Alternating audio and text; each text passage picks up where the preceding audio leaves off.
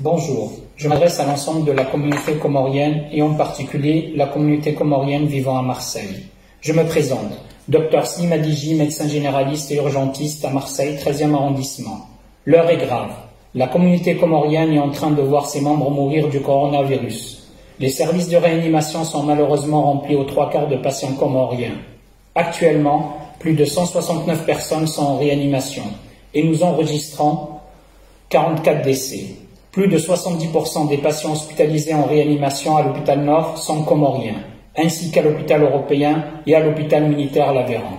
Mes chers amis, l'heure est vraiment grave. J'ai perdu mon premier patient hier du coronavirus. La famille n'a même pas eu le droit d'aller le voir car même après le décès, cette maladie reste contagieuse. J'ai plusieurs autres patients qui luttent contre la mort. Mes confrères et amis médecins font malheureusement le même constat. S'il vous plaît, restez chez vous. Tout regroupement est source de contamination. Dites stop au mariage, stop aux prières en groupe. Chacun fait la prière individuellement chez soi, y compris la prière sur les morts. Ce coronavirus se propage très facilement et très rapidement d'une personne à l'autre et il peut être mortel. La seule manière de vous protéger, de protéger votre famille, vos enfants, vos parents, vos amis, est de vous isoler les uns des autres. Chacun doit rester chez soi. Et pas de visite entre vous.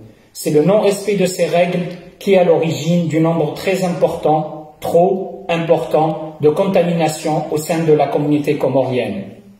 Alors, ensemble, disons stop au Samboussa, au Mlazom Voana le vendredi soir, à la Maoulida du samedi matin et au Ukubi du samedi après-midi. Stop au Madrasa, au Jumu'ah et au Doha en groupe.